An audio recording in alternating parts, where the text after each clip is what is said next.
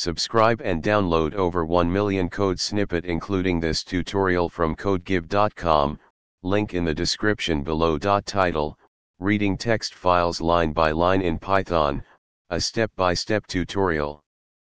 Introduction Reading a text file line by line is a common operation in Python, and it's essential for tasks like data processing, log analysis, and more. In this tutorial, we'll explore how to read a text file line by line in Python, along with code examples to help you understand the process.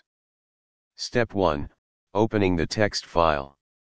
To begin, you need to open the text file using the open function. The open function takes two arguments, the file name slash path and the mode, are for reading in our case. Step 2, Reading the file line by line. Once the file is open, you can read its contents line by line using a for loop. The file object supports iteration, making it easy to process each line. Step 3, Processing each line.